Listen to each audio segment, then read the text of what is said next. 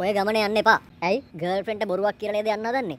එයාට වැඩේ අතටම අහු වෙනවා දැන් ගියොත්. ඔයා කවුද මචං? ඔයාගේ අනාගතේ. නෑ නෑ එහෙම අහු වෙන්නේ නෑ මම බොරුවක් කියලා තියෙන්නේ. වැඩේ ෂේප් කරලා තියෙන්නේ. එහෙම මට්ටු වෙන්නේ නෑ. ඉන්නවා.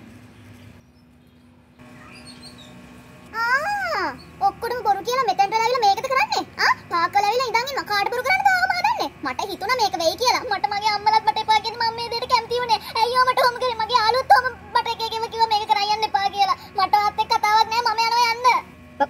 මං කිව්ව නේද වැඩේ මාට්ටු වෙයි කියලා. ඇහුවේ නෑනේ. අපි කියන දේවල් අහන්නේ නෑනේ. ඔයා කොහොමද ඒක දැනගත්තේ? මං ඔයාගේ අනාගතේ මචං. ඔයාට මගෙන් ගැලවෙන්න බෑ. අනාගතේ තමයි. ඔෆිස් එකේ දොරට අතහුවේ ඈ පරිස්සමෙන්. මේ මං යන්නම් අර ප්‍රොජෙක්ට් එකේ වැඩේ යට කරලා දෙන්න. හරිද?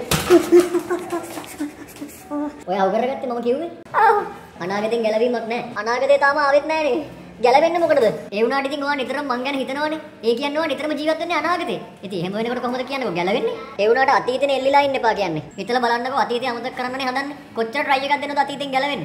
ඒ වුණාට කවදාවත් try කරන්නේ නැහැ අනාගතෙන් ගැලවෙන්න. ඒ කියන්නේ අතීතෙන් ගැලවෙන්න පුළුවන් අනාගතෙන් ගැලවෙන්න බෑ කියලාද කියන්නේ? අතීතේ අමතක කරන්න හදනවා අනාගතේ අල්ලගෙන ඉන්නවා. හැමදාම plan කරනවා, dream කරනවා. කොච්චර හිටියත් ඉතින් ඔලු ගෙඩිය අනාගතේ.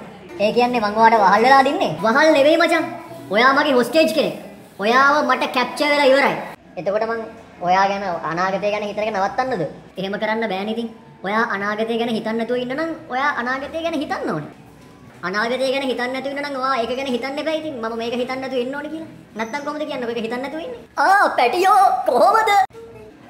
ගර්ල්ෆ්‍රෙන්ඩ්ට වැඩේ මාට්ටුනා නේද? අතත් අහු කරගත්තා නේද? ඔයාට අනාගතෙත් හම්බුණා නේද? උඹ කවුද මචං? මං තමයි අතීතේ. කාගේද? මුගේ. මගේ. උඹේ. උඹ කවුද මචං? අනාගතේ. මගේ. මුගේ. මගේ. ඔව් උඹේ. එතකොට මම කවුද මචං? වර්තමානේ. වර්තමානේ. කාගේද? උඹේ. උඹේ. උඹ. උඹ. උඹ.